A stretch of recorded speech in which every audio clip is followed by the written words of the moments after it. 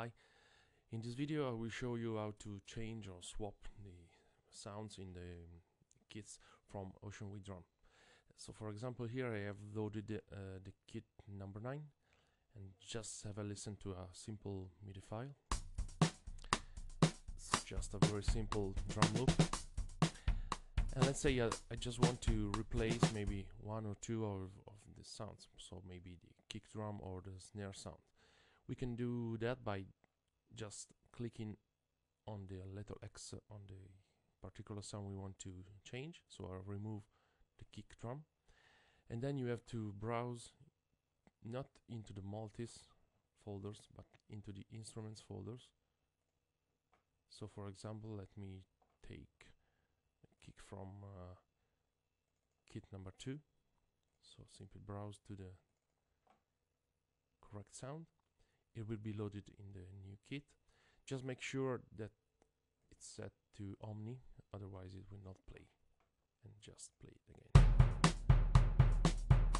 Listen to the difference. Let's say now I want to replace the snare drum.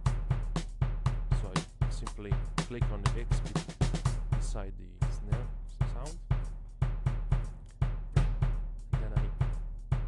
take the snare sound maybe from kit number 5 so let's here's the snare just load it.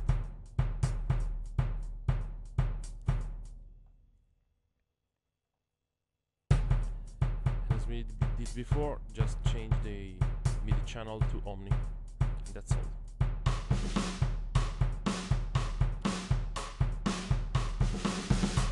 then we can change the kick drum again.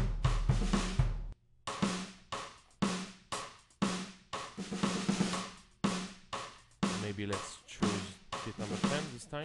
Maybe the dry kick. There it is.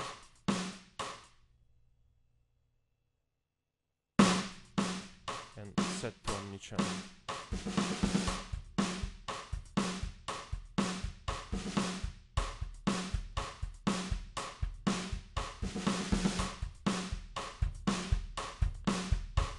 And here we go. That's all.